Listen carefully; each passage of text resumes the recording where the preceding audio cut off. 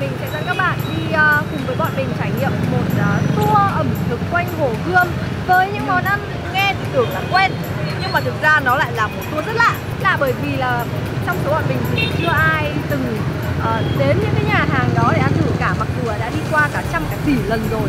Một này, hai này ba này quốc. ơ và mì Hàn Quốc chẳng nhẽ lên làm hàm cá mập mà lại chỉ có mỗi uh, uống cà phê thôi ạ. Thôi mình đi ăn đi. Mì Hàn À, Quốc thôi. đi em thấy quán này nó cũng mờ nhạt phết đấy trông xinh nhở chắc là view trên này rất là đẹp. Lắm nhắc đến hàm cá mập người ta có thể ngồi Highland có thể ngồi Avalon. Nhưng mà chưa thấy ai bảo đi ăn mì hàm cá mập cả. Thật. Đi. đi thôi.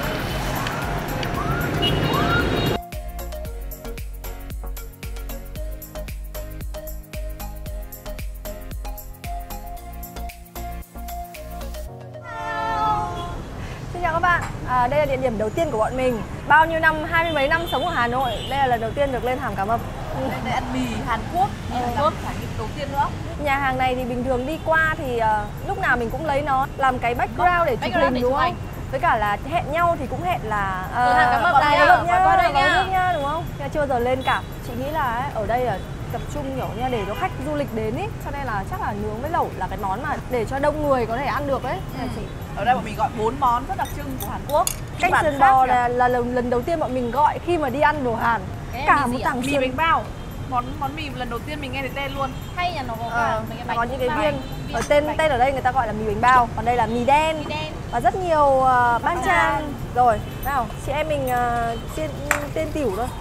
Đây cũng là loại rượu mà lần đầu tiên bọn mình gọi khi mà đến uh, ăn đồ Hàn Quốc. Ừ. nhưng hôm nay quyết định uống thử xem sao. Chẳng nhẽ vào nhà Hàn Quốc mà lại uh, uống nước lọc. uống lọc giống mùi uh, giết sâu giết bọ. Nếp giết sâu bọ. Thì thì rượu nếp thì cũng là gạo giết sâu bọ này. Như chuẩn. Ừ, Mà chính nó xác rồi. Rồi nào, rồi nào. Yo, Ừ, ngọt ngọt. Y hệt như là ăn um, ăn đúng là ăn cái uh, ăn cái rượu nếp hôm xích dâu tiết bọ thôi. Nó nồng nồng như bia ấy. Nhỉ có vị với bia ấy. nhưng mà em không kia. uống nước cồn nên Lên là men, em lên thấy men. đều đắng. Đắng à? Không đắng lắm ngọt có vị ngọt. Không không bởi vì em không biết uống ờ, mấy cái đồ kiểu bia xong rồi là rượu các thứ nên là thấy đắng. Này là ngọt rồi nào không biết thì đùa cố không tí lại lăn ra đấy là không ai đỡ ở đâu đấy. Ơ sao lần trước là uống rượu soju? Em uống bao giờ? Không uống à? Chưa bao giờ uống luôn. ui Ôi sợ bị to, sợ bị kiểu bị cô nó ui nhiều đấy. Thôi chị không ăn nước đâu vì nó cay lắm. Chính xác rồi. À, mình gói một cinnamon. Mình gói một đỏ đỏ mà hình như là 17 hay là 18 nghìn một gói ấy, trong cái nước cũng hệt chị ạ. Cái bánh bao này. Gọi thế cho mọi người dễ hiểu nhưng mà tên của nó tiếng Hàn ờ, món ăn Hàn Quốc thì cái bánh này gọi là bánh mandu. Và mình bật mí cho các bạn một điều nhá mình biết làm bánh này đấy. Nếu mà, ờ, nếu mà các bạn là muốn học công thức làm bánh này thì các bạn nhớ comment thật nhiều vào để mình và hạnh có động lực. Món nào nhỉ? Sườn bò đấy ạ. Sườn bò. Sườn bò. Ừ, có cả miến luôn. Sợi miến rất to. Ơ có cả trứng nữa. Ơ thế đây mới là miến, đây là mì ấy chị ạ. Nhỉ? Ô, đây như kiểu canh thịt bò ấy nhỉ, chả thấy sườn đâu cả Hồi xưa lúc còn chưa lên hàm cá mập ấy, mình cứ tưởng tượng là lên đây sẽ phải kiểu như là ngồi kiểu thong dong tận hưởng ấy. Đây lần đầu tiên lên cứ hùng hục ăn. Cắm đầu ăn. Khó lấy quá. Sẽ ngồi kiểu lên ngồi thư giãn, làm dâm ba con ảnh Rồi cốc cà phê. Ngắm nhìn đường phố. Ơ thì ở đây người ta kiểu lóc ra xong rồi thái mỏng nhỉ? Ờ, em em vẫn thích ăn cả cả kiểu có cả tảng sườn như thế hơn ấy. Đây, cả đảng sườn. Đây, sườn này như kiểu cái sườn mà hay nướng ấy Và bò là bò này là bò bò nhập chứ không phải bò Việt. Rồi hơi khô chị ạ? Thấy không? chị anh ăn thịt có thấy khô không? Hơi khô một tí. Món này ờ, so với món ờ, mì bánh bao lúc nãy mình thích món mì lúc nãy hơn. Ừ, canh sườn bò đây cái nước dùng nó không ấn tượng lắm. Nhỉ? hầm sườn bình thường ấy nó không thêm gia vị nhiều ấy. Ừ, nước này không phải nước ngọt từ từ từ, từ, từ xương ấy. Mì lạnh này có cả thịt bò. Rất nhiều thịt bò. Nửa quả trứng Và gì đấy, củ cải hay củ Lê lê Lê, lê, quả lê. Wow, thịt bò rất chi là gân. Ui, khô lấy quá em thấy nó Nó nhạt nhẽo nhỉ? Nhạt Được được mỗi sợi miến dai. Nó cứ nhạt nhạt nhạt nhạt các bạn thịt bò hầm thì cũng mềm nhưng mà cái vị của sợi mí nó nhạt nhạt Hành tây không bị hăng Món thứ hai không thích bằng món đầu, món thứ ba lại không thích bằng món thứ hai. bắt đầu nó đi xuống Ờ, bắt đầu đi xuống. cuối cùng mì đen Mì đen ở đây lại ăn với trứng ốp nhỉ? Thì như trứng này hơi cháy. Dẹt dẹt Sợi mì dẹt. như kiểu sợi phở phở Ờ, ấy. Đúng rồi. Wow. Làm một làm một miếng. Coi sao? Chưa nhưng mà nó chưa trộn đều chị ạ. Mùi thì thấy rất chi là mì đen rồi. Rồi, ăn đi. Em thấy cái sợi mì nó không được dai lắm. Nó hơi mềm được. Tại chắc là tại vì mình để một lúc. So với ăn miếng lạnh thì món mì đen này hơn đấy. Đúng. Chị đang cảm thấy là cái sốt đây của họ ấy Họ cho nhiều bột quá Nên nó bị sánh kiểu này. Này Bị sánh và nó bị nhạt. Ờ đúng rồi. Nó không xịn như kiểu là Ừ. cái mì lạnh. Đúng rồi. Ăn hương ăn hoa mà thấy lại no. Chuyện khiếp ba đứa vào gọi bốn cái bát to vật vã lại chả no. Em ơi mình đã tự nhủ hôm nay là mình bắt đầu giảm cân các bạn ạ. Còn mình tự nhủ hôm nay sẽ là một ngày lên hồ này Cà phê Thanh rồi cảnh. thanh cảnh. Mình còn, chụp- chụp mình còn đội cả mũ nữa để sống ảo. Nhưng mà cuối cùng thì bọn mình cắm đầu vào ăn Không ngủ mặt lên được. Thôi. tiếp tục đi ăn các bạn ạ. Ừ, đã chấm điểm đi, chấm điểm chỗ à, này. chấm điểm là chỗ này view được 10 điểm nhá. Ờ, View ok. kia chắn 10 điểm đâu bởi vì quá đẹp. Ngồi đây có thể có thể tưởng tượng ra là đúng đúng chất Hà Nội. Bọn mình hôm nay thử lên nhà hàng Hàn Quốc. Ở trên cao. Ở, ở trên cao, không biết là những quán khác ở trong hàm cá mật thì sẽ như thế nào. Đấy, bây giờ líu cả lưỡi rồi đấy, hàm cá mật rồi đấy. Em là em em vote là xuống mặt đất ăn mì nhá. Ừ, chị cũng phải lên chị cũng nghĩ thế, đồ Hàn Quốc thì không nên ăn ở đây. Bây giờ bọn mình đi khám phá tiếp thôi, xem là quanh chấm, Hồ chấm, Gươm chấm. Sẽ còn cái gì. Yo! Tiếp theo là ở đâu ạ? Hàng chúng ta. ở à, gần sát Hồ Gươm Ngay bên cạnh luôn, bọn mình sẽ chọn cái view mặt hồ. Trông thật là Hà Nội. Và đây là một cái nhà hàng mà rất quen thuộc với là rất là nhiều người dân ở đây rồi. Rồi. Và nếu như các bạn nghĩ nhà hàng này chỉ có bán kem thủy tạ thôi thì các bạn đã nhầm. Rồi Ơ em cũng nghĩ thế đấy, em chỉ nghĩ là nó chỉ bán mỗi kem thôi đấy. Nên là bây giờ mình vào đi xem là trong này có đồ ăn thì xe người ta sẽ bán món gì Còn món kem Wow, Ui, cả quyển menu này. Ơ có cả ăn trưa ăn tối các thứ không này? Món là đa dạng đông tây kim cổ kết hợp luôn luôn đấy. Nem rán kìa. Được Thế mình, nhiều nhưng thế mà- mình để xem là nem thủy tạ họ làm ngon không? Như kiểu là để cho xem là du khách họ đến Việt Nam họ ăn món nem này thì nó có đúng là mình sẽ thử xem là nó có đúng Đúng Việt Nam không? Chắc là món salad tôm của của thủy tạ người ta làm theo công thức chỉ riêng của họ. Tôm bắt ở dưới hồ kìa. Chắc thế chị ạ. Hay là gọi món đấy đi chị Salad tôm thủy tạ Bò lúc lắc. Bò lắc lắc, lắc lúc, lắc lúc, lắc. Lúc Lúc lắc. Là, À lúc lắc. Bò lúc lắc hay là bò Việt đây này? Ở Việt đấy. Đi rồi đi thôi Chốt thế đi. Chốt. Ở trong này có nhiều món kem em sáng miệng. Wow. Tình quá. Tình nhờ Ngồi một nhà hàng gần hồ. Lại là một cảm giác vừa lạ vừa quen. Đấy là lần đầu được bước chân vào nhà hàng thủy tạ vô cùng quen thuộc Ở gần bờ hồ. Và ăn à, các món ăn à, rất Việt, Việt Nam. Nam. Rất Việt Nam. Ui, nem mini này, nem siêu mini Không biết là món nem này là nem người ta sẽ tự cuốn hay là nem đóng hộp? Em hay cuốn ờ, cái chắc bằng tầm hai cái này. Ngồi đấy phê quá Nem rất là giòn Còn nem giòn rụt luôn. Cảm tưởng đây là nem đóng hộp ấy Không phải là nem tự cuốn. Em nghĩ là chắc là người ta phải có một cái công nghệ dây chuyền. Người ta đóng nem cho nó nhanh. Chẳng ai mà ngồi tự cuốn bao nhiêu cái nem một ngày Cảm giác mình đến một nơi nào đấy Không phải là nơi tự nơi mà mình hay sống Ờ, ấy. Đúng rồi. Không phải là cuộc sống của mình mọi Không khi phải đúng không? ờ, đấy. Đấy em thấy sao rồi cuộc sống hiện tại ấy, nó kiểu Chậm, bay bay. chậm nữa Khoai tây thì béo nhỉ Nó trên mút míp Kiểu nó nhiều thịt đấy đúng không? Nó không bị chiên quắt vào. Thế đây là bé bé là ăn nó hay bị ngấm dầu. Nhanh nhỉ, bọn mình vừa mới đi một tí mà đã tối om rồi. Và vẫn là một địa điểm nữa bọn mình muốn dắt các bạn đi sau địa điểm này. Bình thường vào đây thì Chắc là mình sẽ uống nước hoặc là ăn kem thôi Mày ăn món mặn. Cảm giác rất khác. Sẽ sang một góc độ khác đi. Đây là món ăn Việt Nam. Và nếu như chúng ta là người nước ngoài ăn Thì đúng là họ không biết vị của những món truyền thống mẹ nấu đúng không?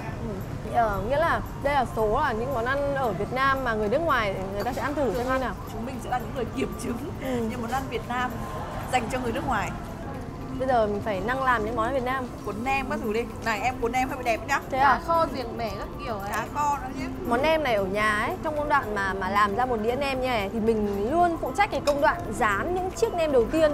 Thế á? Thế là chiếc nem sau khi cuốn xong ấy, khi cho vào chảo còn phải lăn cho nó tròn nữa. À.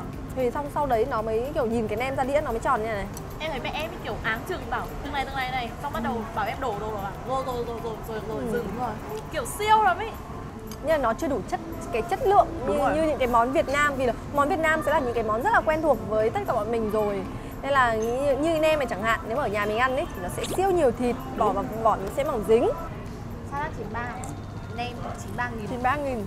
Bò lúc lắc 150 Không được. So với cái mặt bằng này thì em thấy là không được. Thái độ ở đây nhân viên rất nhiệt tình không giống một số nhà hàng khác Bọn mình đi vào kiểu rất là phũ phàng. Kiểu đi vào chẳng thầy quan tâm luôn ấy Sau bắt đầu mình ngồi vào cũng không quan tâm nhỉ? Bọn mình à, bây giờ là vẫn còn một địa điểm để muốn đưa các bạn đến nhưng mà trước khi đến địa điểm đấy thì chắc là bây giờ bọn mình giải quyết nốt chỗ này đi. Xong rồi ra làm cái kem dâu sữa chua. Bạn thân của uh, Tranh bạc hà. Tranh bạc hà xem thế nào. Người em, người em.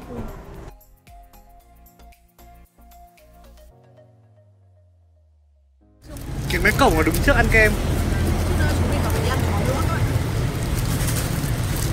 tranh bạc hà thì mình ăn thử rồi còn dâu sữa chua thì chưa Vô chuẩn rồi. Rồi. Ừ, khó ấy. đã mãn nguyện. Sau khi được vào nhà thì đã được ăn kem sữa chua kem tranh bạc hà. Bây giờ thì à, cùng bọn mình đi đến địa điểm cuối cùng trong tour ngày hôm nay nhé chào bạn Chào rồi. Chào bạn các bạn địa điểm cuối cùng của chúng ta. Đấy là kem Fanny rất nổi tiếng ở bờ hồ. Ở đây rất nổi tiếng với cả món lẩu kem. Và hôm nay thì bọn mình đã được ờ, tận mắt nhìn thấy Bọn mình chọn lẩu kem với 14 vị kem ở đây. Rất nhiều vị, ờ, không thể nói hết được. Ừ. Nên ăn đến đâu bọn mình sẽ nói đến đấy. Bọn mình đang băn khoăn là không biết nên ăn nào. Bây giờ dưới sô cô la vào đây thì thả thì thả không gọi lẩu kem cho xong. Còn nếu mà chấm thì chấm cái này xong rồi như nào? Đấy, chấm vào đây Chấm à? cái này xong rồi ăn múc cùng với cả kem ăn như này xong rồi Múc cùng kem. Gì đấy gì đấy? Ăn chanh. Không ơi chua vãi tung cả mình ấy. Nhưng mà hay mình Kem thích. chanh thực sự kem chanh còn hơi đắng đắng nữa. Bạn nói dùng mình. Như là uống một ly nước chanh mà bỏ ít đường ấy. Nhưng mà ngon. Cảm giác như ăn ô mai chanh. Cái tutti này nó ngọt ngọt. Tutti là cái gì ạ? Kem sữa với cả nước ngọc quả. Mặc dù cái chanh này rất chua các bạn nhưng mà mình lại thích cái vị này. Lúc mà vừa ăn ăn cái ăn cái kem khác ngọt ngọt Đúng một người vào. Xong rồi cho cái miếng này vào mồm rõ to chứ. Ui đúng là người vào thật. Làm sao để kết hợp tất cả nguyên liệu này một kết hợp lý ấy. Vẫn là một câu hỏi rất đau của mình Thế là sáng một miếng kem. Đi cho cả 14 vị đây thế luôn. Còn đâu cần hết đâu. Phiền phiền thôi. Ừ. Phiền phiền thôi bà vẫn nhất Thôi phiền phiền thôi. Nên quên chết. Chết nhưng mà để chỉ cái chỗ này thì còn còn để Dính á? đặt cái dâu tây lên. Cách này cũng không ổn các bạn ạ. Một à? Em thấy nó hơi hồn lốn Người ta trang trí là biểu người ta trang trí. Người ta cho la ở giữa là phù hợp với cái tên là lẩu. Còn ăn như nào là việc của mình Không bao giờ ăn một cái, cái kiểu như này đâu chị ạ. Ừ. Em thấy cái phần thú vị nhất của cái lẩu này ấy, là ngồi thử 14 vị kem Xong bắt đầu đoán đoán ra là cái này là cái nào Vị nào? Sô cô la này có hay không cũng không quan trọng. Bây giờ sẽ đến phần mix tất cả các vị với nhau. Chắc là nhiều bạn cũng đang muốn biết giá của một set lẩu kem này là bao tiền. Thì giá của set này là 299 nghìn. 14 vị kem và hoa quả và ốc quế và sô cô la rồi ờ, ở đây thì có nhiều hơn 14 vị hơn 20 vị kem. Thì các bạn sẽ được chọn 14 vị. Cái việc mà đúng chọn 14 vị kem mình thấy bất thú vị. Biết đấy nên là mình chọn 14 vị như kiểu mình chọn gần hết cả cái tủ kem. Ừ. hay mà không cả quả nho. Tutti cái gì của hạnh có cả tutti. Sô cô la chip ở trong hay sao ấy? Hay là sô cô la vụn gì ấy? Có một cái có bánh cookie à? Cookie này, cái này có sô cô la vụn này. Thử ăn bà hà. À, bà hà sô cô la chip Kết thúc trong những cái vị kem này thì mình thích sô cô la thích sữa chua thích uh, cherry. Em thích mãng cầu, chanh. Ừ. Sữa chua cũng muối. được. Ừ, caramel muối cũng được. Hoa quả em thích ăn muối dâu Tại em không, không thích hai quả này. Mình sẽ ăn nốt xong bọn mình sẽ kết thúc với các bạn. Nhá các bạn đợi Xin chào các bạn. Chào các bạn. thực ra là tạm biệt các bạn. Tại vì các bạn. Thực ra hôm qua bọn mình ăn xong bọn mình sốc quá ăn nhiều quá say quá. Thế là bọn mình quên mất không cả chào kết Nên là hôm nay đã quyết định là sẽ tổng kết lại cho các bạn. Sao em không nhớ gì cả nhỉ? Mất trí nhớ rồi ừ. Hàn Quốc hết gần 1 triệu. 870 nghìn. 870 nghìn. Sau đấy thì ờ, bọn mình đã chuyển sang nhà hàng Thủy Tạ Cũng đắt không kém nhưng mà bọn mình đã gọi ít hơn Hết 336 nghìn. Ừ. ăn kem Fanny hết 300 nghìn. 300 nghìn một set lẩu kem. Cũng được. Ừ. nhìn chung thì các món ờ, đúng là cũng có lý do mà người ta lại không vào những nhà hàng đấy đúng không? Nhưng mà trong đó thì có kem Fanny mình thấy là cũng ngon. Em thấy kem Fanny thì ngon nhất. Ngon nhất Ngon thích nhất nhất trong tất cả. loại. Nếu như không ăn một set lẩu thì ăn một vài viên thôi thì cũng được. Ừ. chắc là sau mình sẽ quay lại kem Fanny Nhưng mà người người ở Hà Nội thì chắc là sẽ không vào những nhà hàng đấy Nhưng mà khách những cái địa điểm như vậy thì sẽ rất thu hút khách du lịch Vừa là du lịch ở một địa điểm mà gắn liền với Hà Nội Và những cái quán ăn đấy thì ờ, chắc chắn là họ sẽ sẽ sẽ sẽ ghé vào và sẽ để kiểu Trông như là nó cũng nổi bật. rồi. Với cả Trông là bật. ngồi đấy thì cũng cảm nhận được ấy đúng không? Đấy, tiếp khách các thứ Ok tại vì Hồ Gươm thì là một cái biểu tượng khó mà lay chuyển biểu biểu tượng rất là rất là biểu tượng rất là biểu tượng là ngàn đời của Hà Nội rồi nên là ngồi là sẽ ngồi xung quanh khu vực hồ gươm. Mà khách du lịch đến thì người ta sẽ không biết được những cái quán ở trong ngõ ngách này Đúng rồi, rồi, là ở trong được. các quán vỉa hè này. Mà thường quán đấy thì lại ngon hơn. Ờ, muốn ăn nem đến Hà Nội thì muốn ăn thử nem thử phở thì đến Hồ Gươm hay là đến những cái địa điểm du lịch mà thấy những món đấy là vào ăn thôi. Đúng. biết làm sao biết được món nào ngon đúng không? Nhưng mà trải nghiệm cũng được. Ngồi view đẹp đúng mà ngồi cái chỗ đấy chắc là phần phần lớn là vì view thôi bây giờ thì bọn mình kết cũng dài rồi. Bọn mình sẽ Và mình kết thật đây. Bọn kết thật. đây bọn mình sẽ đi quay một cái video khác đây. Và bạn mình hứa với các bạn là lần sau mình sẽ không quên kết. Tạm biệt các bạn. Trong những video tiếp theo nha. Bye bye